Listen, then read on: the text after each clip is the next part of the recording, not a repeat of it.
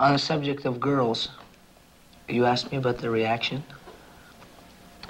Well, I'll tell you, this um, business that I'm in, um, I would say 60% of it is on emotion and uh, a word which we all know and I'm not in accord to using, but it's the only word which can sum up what I have to say, which is sex.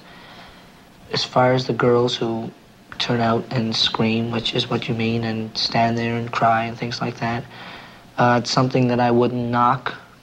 It's something that I am not against. It's something that I don't disapprove of. It's something I'm very happy of. And I think that they kind of feel if I'm singing like a lonely boy, they like to feel, well, they're the girl that I'm singing about. Oh, I can't believe I look at them. Hello.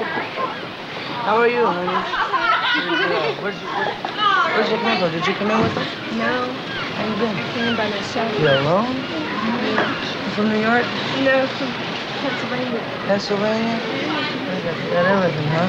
Yeah. Look, I'll come out afterwards. Let me go in and see if I'm late, and then we'll sign all your stuff after. Okay? Wait right here. Uh, it, uh, oh my God. Oh. You're going to see the show or what? In to see the show. You can't. I couldn't go in here. Well, I hope make it in. oh, you look like a doll. Uh, Paul's features are excellent.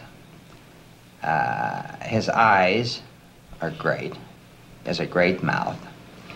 And uh, uh it is no secret, last year uh, we had a plastic surgery job on his nose.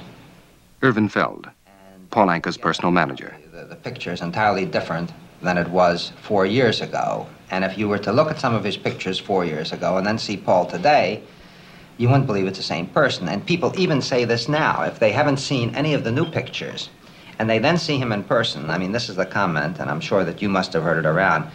Gee, he doesn't look the same as his pictures. He's so handsome. Now, Paul will be 20 in July. And uh, it's very simple for me personally to have kept him working and to keep all the other young stars working on one night tours. But then when you're planning a career, you say, well, where do they go from here? And of course, the way you're recognized most uh, in the United States is if you're accepted in the big nightclubs. These are the plush clubs throughout the country, the biggest places, where it costs you a lot of money to sit down, they play to the sophisticated people. And I felt that if Paul could make it in this area, that I could capture every other area. And this is the way I groomed him, so that he was the youngest performer ever to appear in the big clubs that he appeared in.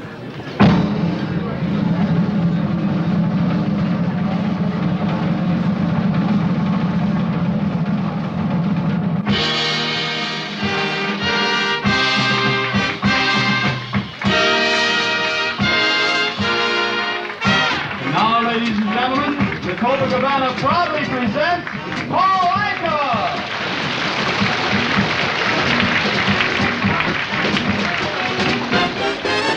What a feeling, what a glow, what a thrill for me to say hello. You want the waiters to move around a little bit? If you feel like it. Sure. Never go about their work. All right, Bruno. Tell the waiters to, like, move around if they've got action. You know what I mean? No, no, uh, not... I understand it. Jules Podell, owner of the world-famous Copacabana. Uh, I heard about Paul Anka about uh, two years ago. And um, how'd you hear about him? Well, I've heard about him through uh, the trade papers. Uh, I happened to buy one of his records, the first one he made. He had a terrific personality. The, uh, the public just takes to him. They like him. As soon as he steps out on the floor, he has no problem of entertaining them in any shape or form.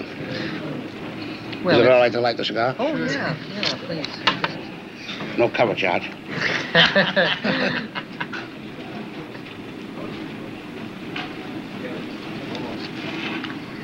yes.